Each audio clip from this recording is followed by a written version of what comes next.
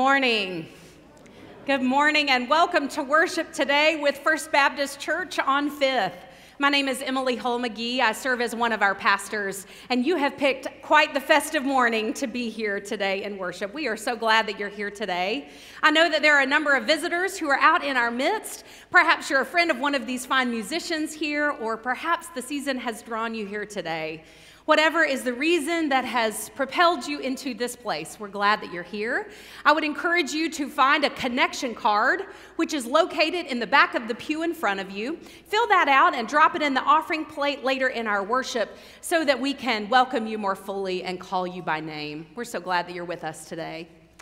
We also know that a number of you are worshiping with us online. So I extend a welcome on behalf of all of us here at 501 West 5th to wherever you may be. For the community gathered at Brookridge and for all who are scattered around, welcome.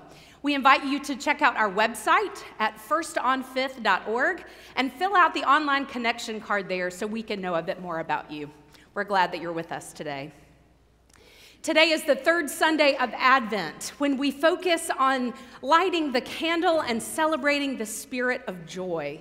The joy that comes to us in this season, and a joy made especially real today in our service of lessons and carols. This type of uh, way to tell an old, old story is what the Dean of King's College in Cambridge, Eric Milner White, was seeking back in 1918 for his Christmas Eve service. He wanted an imaginative retelling of Advent worship and dreamt up a service called the Festival of Lessons and Carols, which in scripture and song told the story of the God who so loved the world. Lessons and Carols has become a beloved tradition all around the world in various Christian churches from all places. And amidst war and violence, division and disease, growth and possibility, this service of lessons and carols holds space each year for wonder and hope and peace and joy and love to come to life. But with each incarnation of this old, old story, in churches both urban and rural, of all denominations and traditions, in all corners of the world, and in every color and creed and conviction. We each experience again the birth of a babe, one who comes bringing hope in the midst of despair, one who comes to wage peace in the midst of injustice, one who comes to orient us to joy in the midst of sadness one who comes to live love right in this place. This story of God's love for the world, given for all and received by all, is told today in our service of Lessons and Carols. And it's described for us so beautifully in our artwork on the cover of your worship guide and in this poem by Madeleine L'Engle. Let me read this for us. God did not wait until the world was ready, till nations were at peace God came when the heavens were unsteady and prisoners cried out for release. God did not wait for the perfect time. God came when the need was deep and great. God dined with sinners in all their grime, turned water into wine. God did not wait till hearts were pure. In joy, God came into a tarnished world of sin and doubt to a world like ours of anguished shame, God came and God's light would not go out. God came to a world which did not mesh to heal its tangles, shield its scorn. In the mystery of the Word made flesh, the maker of the stars was born. We cannot wait till the world is sane, to raise our songs with joyful voice, for to share our grief to touch our pain, God came with love. Rejoice, rejoice. No matter who you are or where you are on life's journey, you are welcome in this place. Not by me, not by our church, but by the God who did not wait to dwell among us. Rejoice and welcome to First Baptist on Fifth. The word of the Lord according to the prophet Isaiah. The Spirit of the Lord God is upon me, because the Lord has anointed me. He has sent me to bring good news to the oppressed, to bind up the brokenhearted, to proclaim liberty to the captives and release to the prisoners, to proclaim the year of the Lord's favor and the day of vengeance of our God, to comfort all who mourn, to provide for those who mourn in Zion, to give them a garland instead of ashes, the oil of gladness instead of mourning, the mantle of praise instead of a faint spirit. They will be called oaks of righteousness, the planting of the Lord, to display his glory. They shall build up the ancient ruins. They shall raise up the former devastations. They shall repair the ruined cities, the devastations of many generations. For I, the Lord, love justice. I hate robbery and wrongdoing. I will faithfully give them their recompense, and I will make an everlasting covenant with them. Their descendants shall be known among the nations, and their offspring among the peoples. All who see them shall acknowledge that they are a people whom the Lord has blessed. I will greatly rejoice in the Lord. My whole being shall exult in my God. For he has clothed me with the garments of salvation. He has covered me with the robe of righteousness, as a bridegroom decks himself with a garland, and as a bride adorns herself with her jewels. For as the earth brings forth its shoots, and as a garden causes what is sown in it to spring up, so the Lord God will cause righteousness and praise to spring up before all the nations.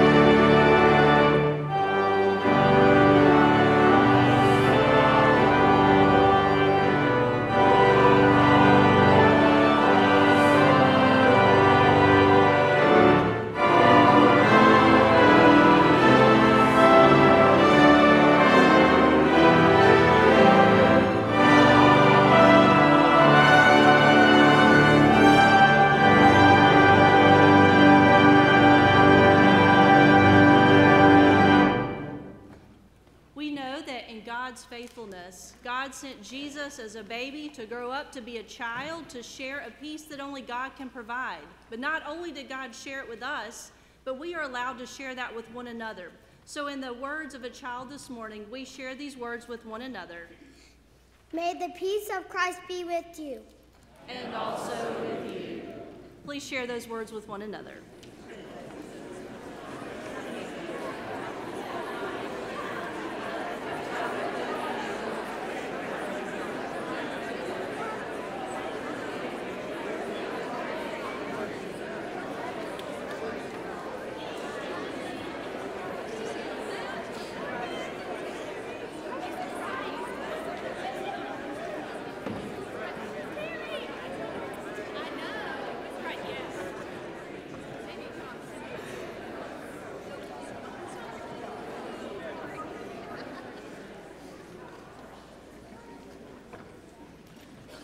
And we begin this Lessons and Carols with a bidding prayer. The bidding prayer bids us or invites us to hear again the story and also to pray for this world that this good news would be light to this world that finds itself in darkness. You know, this is the same prayer that was used in 1918, and we've prayed it many times here. So it's the same prayer, but it's very different because we are different and the world is different. So this prayer even sounds different this year than last year as we pray it together. But we pray in this dark world that the story of the good news will be the light that lightens this dark world. So, beloved in Christ, with delight we prepare ourselves to hear again the message of the angels, to go in heart and mind to Bethlehem and to see the loving kindness of our God and the babe lying in a manger. Let us therefore open the Holy Scriptures and read the earliest story of our disobedience to God's holy will, which is common to us all, and then the story of the birth of Jesus Christ our Lord to save us from our sins. And let us thank Him with our carols of praise. But first, let us pray for the needs of this whole world in a world fragmented by warring factions and rampant injustice, we pray for peace and goodwill over all the earth. Hear us, O God, in the silence of our hearts.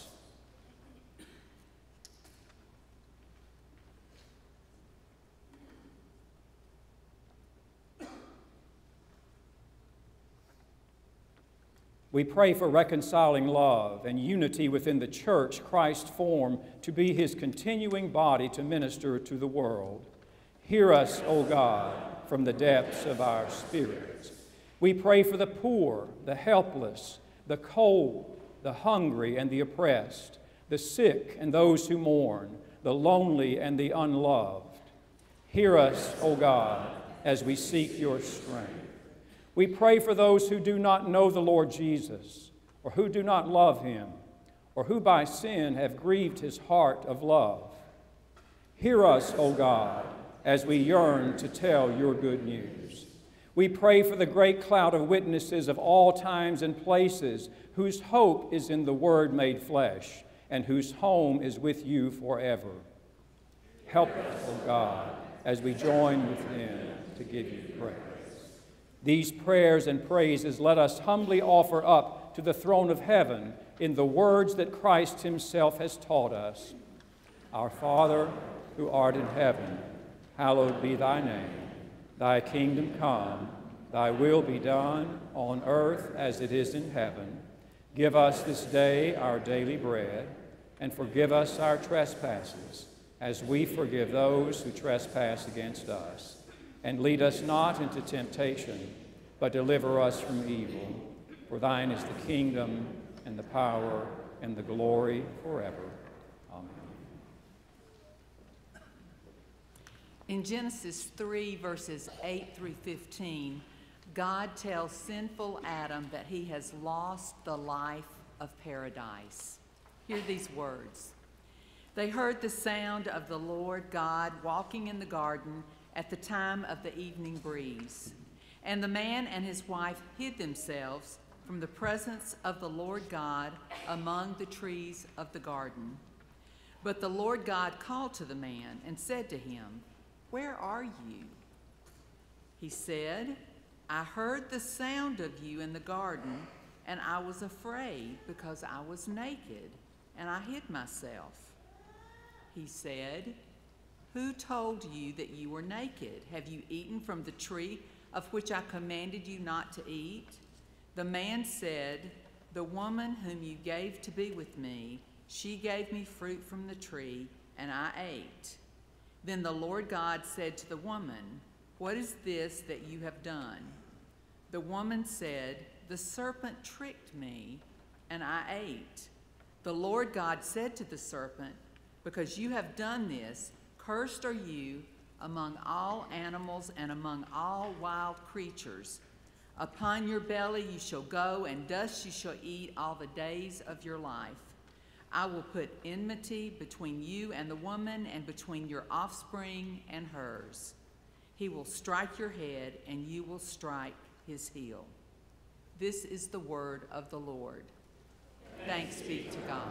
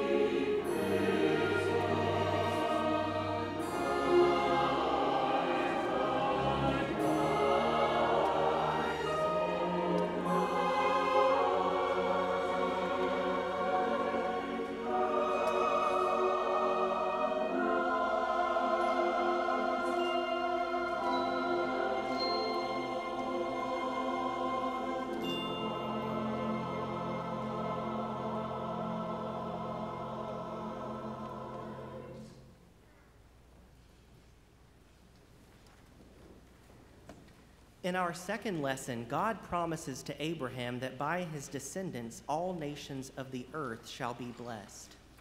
Hear now Genesis 22 15 through 18.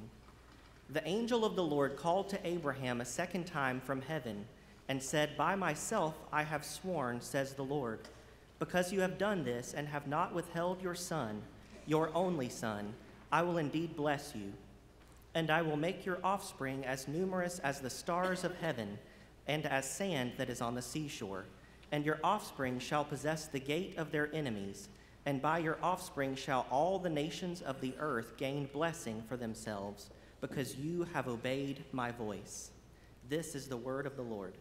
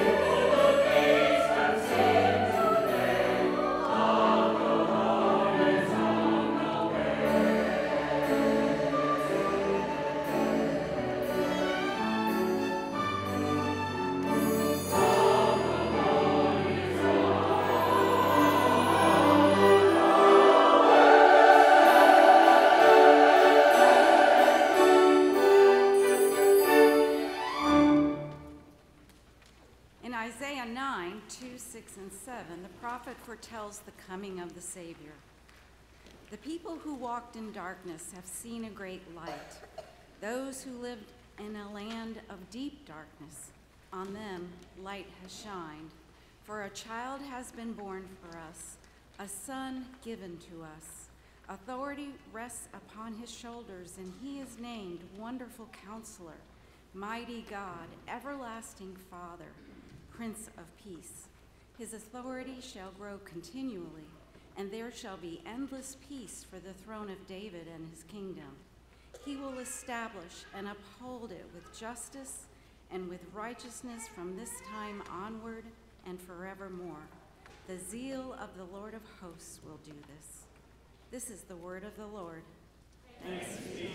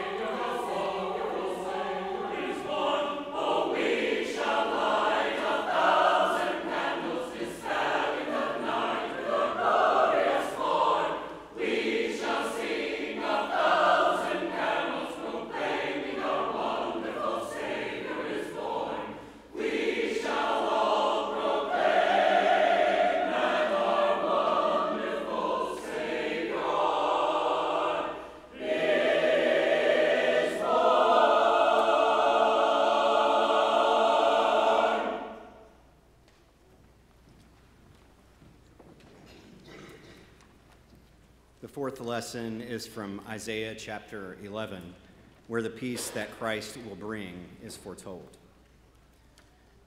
A shoot shall come up, come out from the stump of Jesse, and a branch shall grow out of his roots. The Spirit of the Lord shall rest on him, the Spirit of wisdom and understanding, the Spirit of counsel and might, the Spirit of knowledge and the fear of the Lord. His delight shall be in the fear of the Lord. He shall not judge by what his eyes see, or decide by what his ears hear. But with righteousness he shall judge the poor, and decide with equity for the meek of the earth. The wolf shall live with the lamb, the leopard shall lie down with the kid, the calf and the lion and the fatling together, and a little child shall lead them. The cow and the bear shall graze their young shall lie down together. The lion shall eat straw like the ox. The nursing child shall play over the hole of the asp, and the weaned child shall put its hand on the adder's den. They will not hurt or destroy on all my holy mountain, for the earth will be full of the knowledge of the Lord as the waters cover the sea. This is the word of the Lord. Thanks be to God.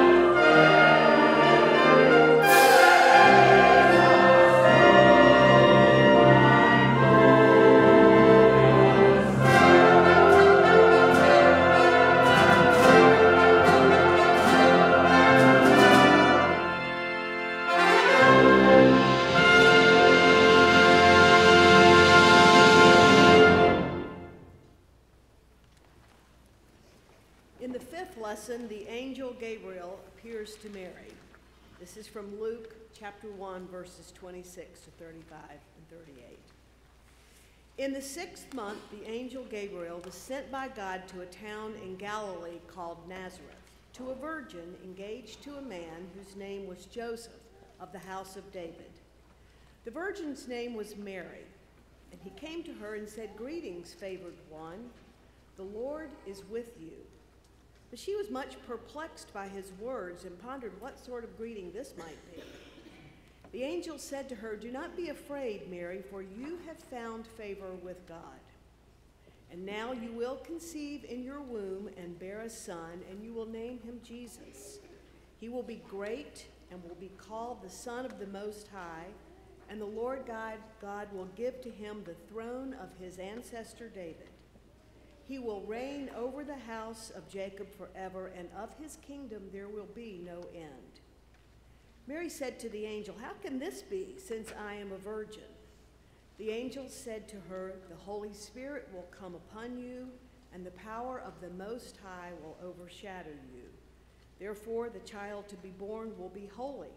He will be called the Son of God.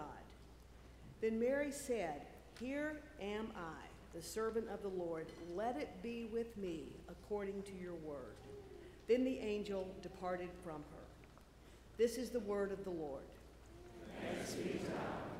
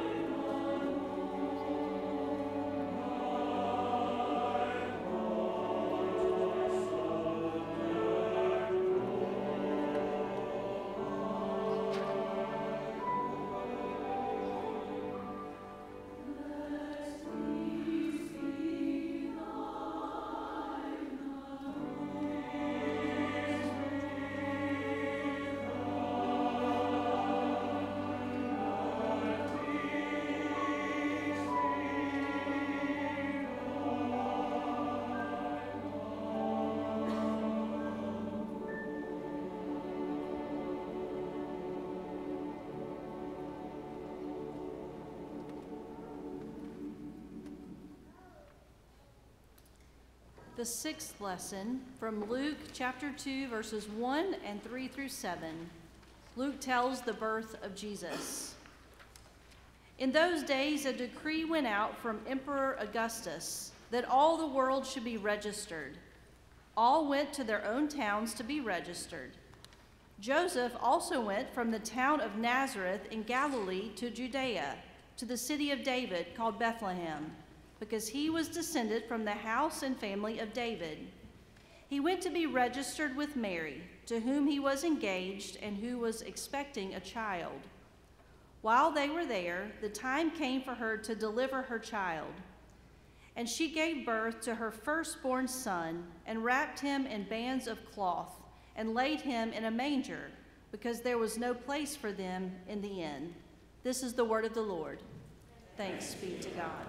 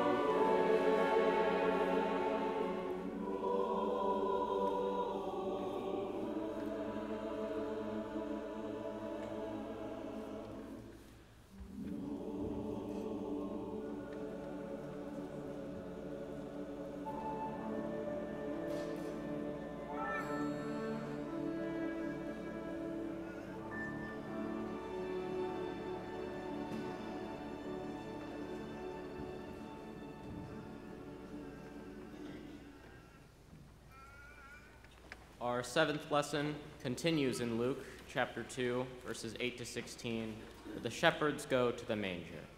In that region there were shepherds living in the fields, keeping watch over their flock by night. Then an angel of the Lord stood before them, and the glory of the Lord shone around them, and they were terrified. But the angel said to them, Do not be afraid, for see, I am bringing you good news of great joy for all the people. To you is born this day in the city of David a Savior, who is the Messiah, the Lord. This will be a sign for you. You will find a child wrapped in bands of cloth and lying in the manger. And suddenly there was with the angel a multitude of the heavenly host, praising God and saying, Glory to God in the highest heaven, and on earth peace among those whom he favors. When the angel had left them and gone into heaven, the shepherds said to one another, Let us go now to Bethlehem and see this thing that has taken place which the Lord has made known to us. So they went with haste and found Mary and Joseph and the child lying in the manger. This is the word of the Lord. Thanks, Thanks be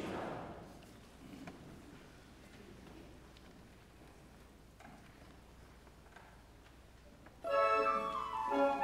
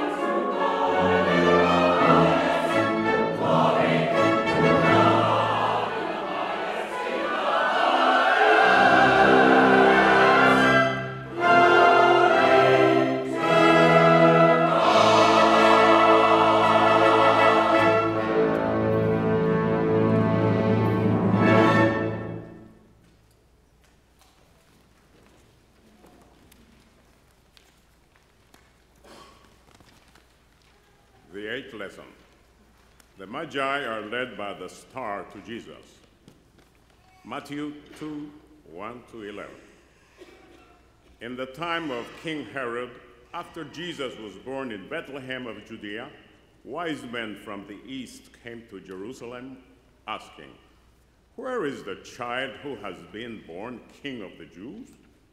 For we observed his star at its rising and have come to pay him homage. When King Herod heard this, he was frightened, and all Jerusalem with him, and called together all the chief priests and scribes of the people. He inquired of them where the Messiah was to be born. They told him, In Bethlehem of Judea, for so it has been written by the prophet. And you, Bethlehem, in the land of Judah, are by no means least among the rulers of Judah. For from you shall come a ruler who is the shepherd my people Israel. The Herod secretly called for their wise men and learning from them the exact time when the star had appeared. Then he sent them to Bethlehem, saying, Go and search diligently for the child. And when you have found him, bring me word so I that may also go and pay him homage.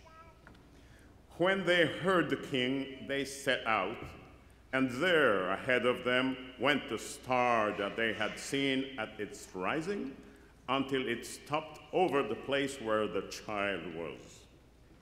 When they saw that the star had stopped, they were overwhelmed with joy. On entering the house, they saw the child with Mary, his mother, and they knelt down and paid him homage. Then, opening their treasure chests, they offered him gifts of gold, frankincense, and myrrh. This is the word of the Lord.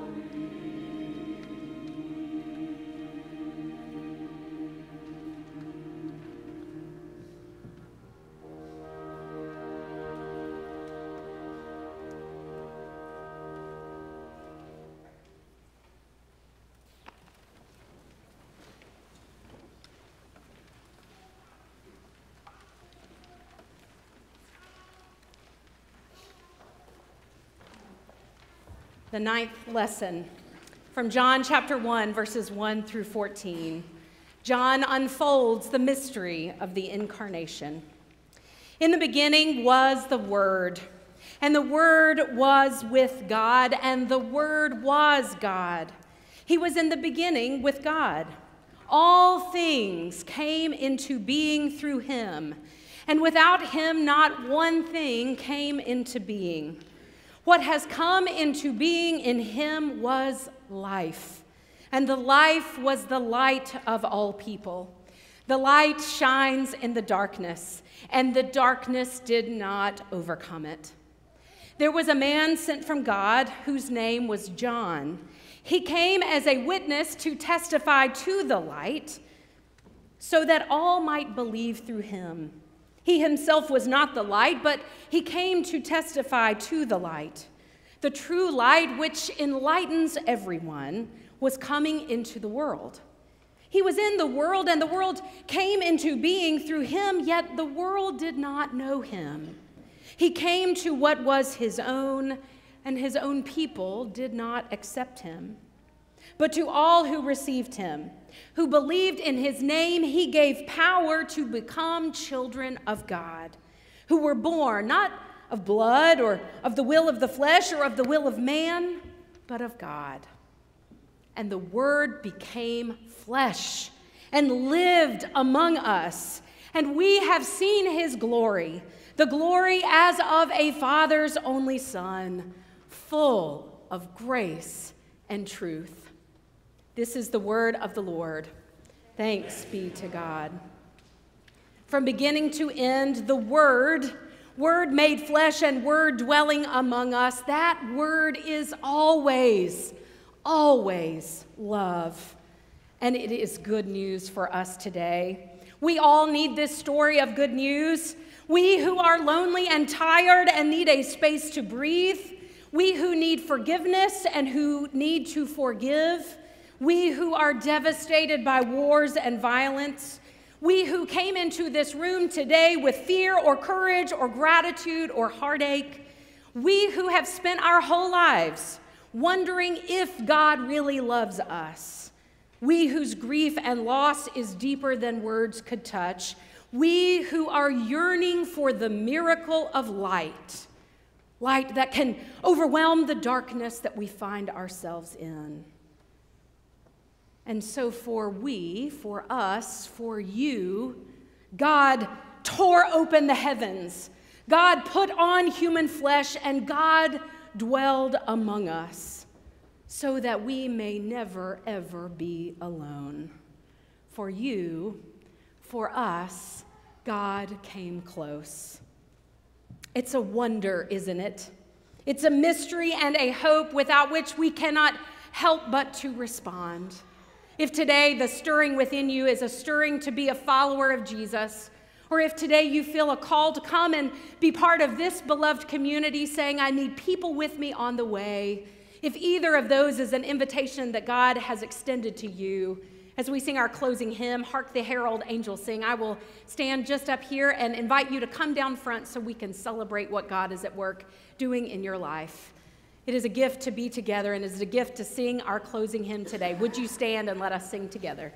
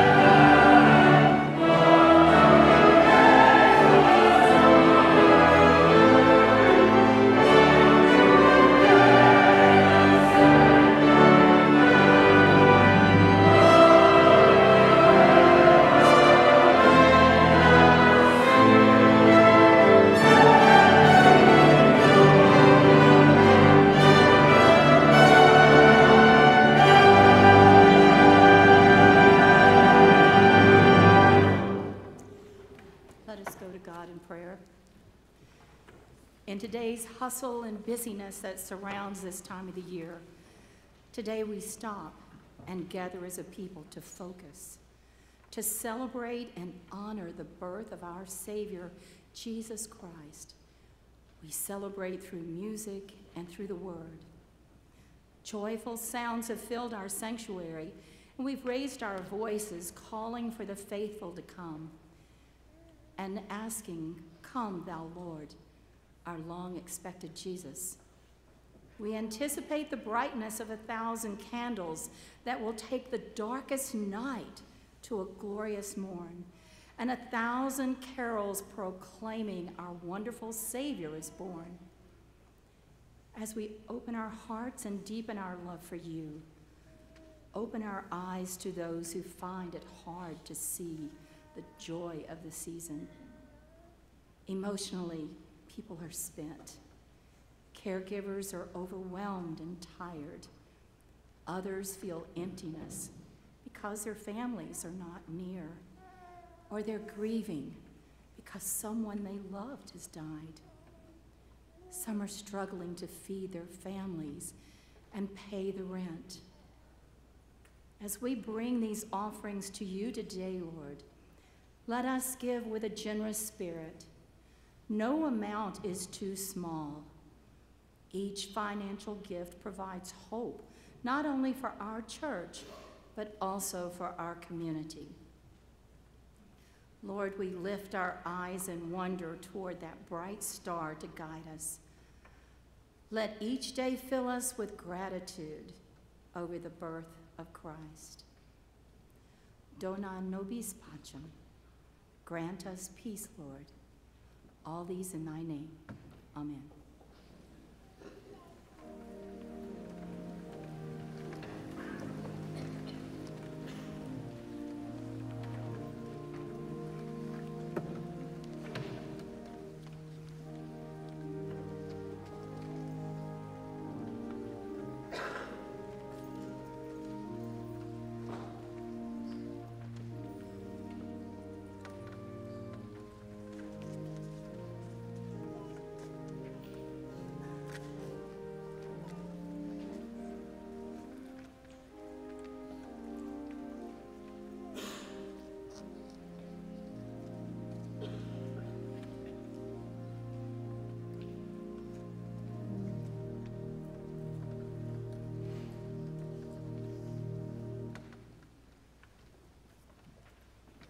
What a gift it has been today to worship together and to celebrate this service of lessons and carols.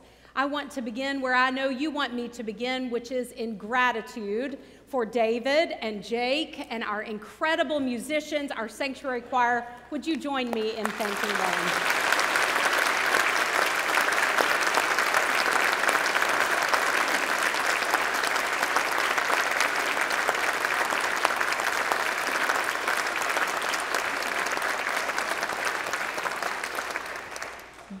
Services like today don't just happen, and so I know you appreciate what they have offered and led us in today.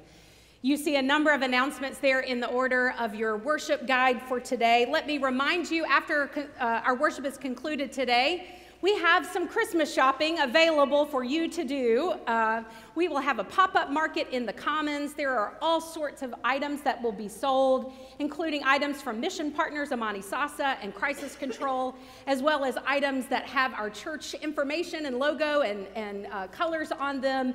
You won't want to miss it. So make your way to the Commons uh, upon the conclusion of our worship service today.